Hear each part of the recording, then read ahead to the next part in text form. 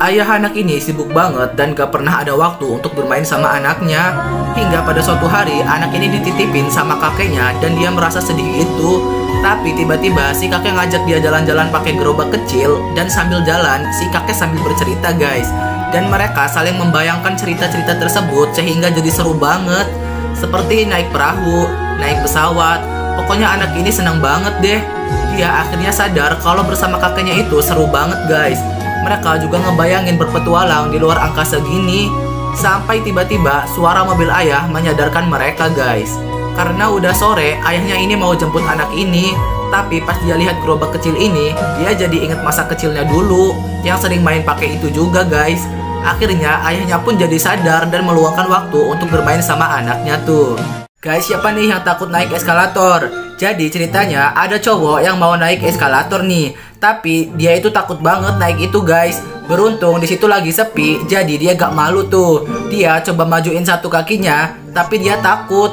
Mau pegangan juga takut guys. Sampai dia mikir apa duduk aja ya di eskalatornya. Tapi gak jadi karena takut guys. Kemudian dia tarik nafas dan coba lagi tuh. Tapi dia tetap masih takut dan pengen pergi aja.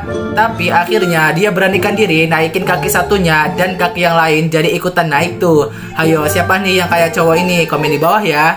Suatu hari ada belalang kecil yang pengen ngidupin sebuah robot nih.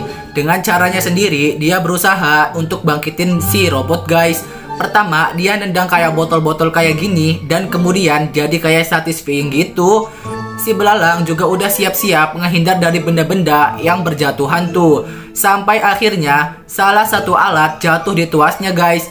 Terus si belalang pencet tombol aktifkannya kan dan otomatis mesinnya jadi aktif gitu. Akhirnya aliran listrik pun mengalir ke robot dan robot pun berhasil diaktifkan guys. Pinter juga ya nih belalang. Ada cowok burik yang operasi plastik sampai mukanya jadi ganteng gini, tapi akhirnya gak nyangka banget jadi ceritanya ada cewek cantik yang sedang berjalan di pantai tuh. Tiba-tiba kepalanya itu terkena bola gitu dan dia langsung marah kan. Ternyata orang yang lempar bola itu cowok ganteng ini guys.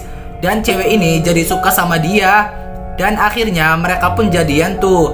Hari demi hari sudah dilalui. Mereka pun sudah menikah dan si cewek sedang hamil tuh. Ketika mereka sedang bersantai di kamar, Terus tiba-tiba ada seekor kucing dateng dan mencakar muka si cowok itu guys. Dan seketika muka si cowok ini jadi burik kayak dulu lagi.